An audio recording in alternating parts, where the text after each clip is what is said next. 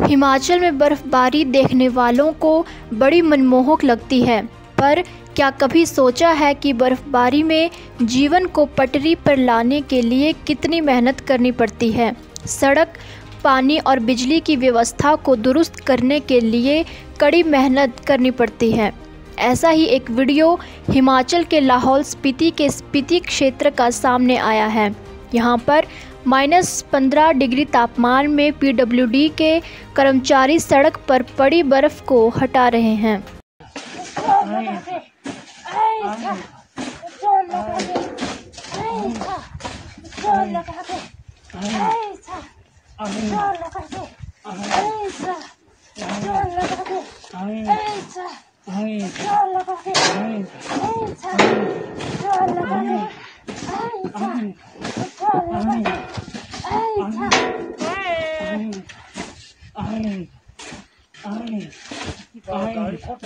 हिमाचल और देश दुनिया से जुड़ी हर बड़ी अपडेट के लिए बने रहिए E W N twenty four news choice of Himachal के साथ।